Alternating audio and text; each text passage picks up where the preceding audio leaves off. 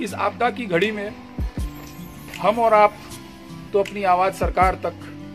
या जिला प्रशासन तक पहुँचा सकते हैं। लेकिन ये जो बेजुआ है, ये अपनी आवाज़ कहीं नहीं पहुँचा सकते।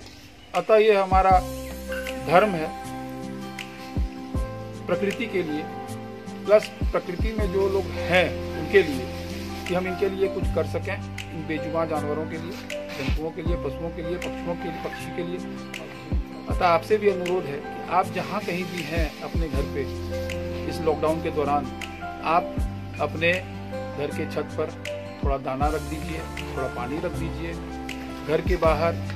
थोड़ा पानी और खाना रख दीजिए, जिससे कि पशु आए और अपना भूख और प्यास मिटा सके। जहाँ तक संभव होगा, मैं निरंतर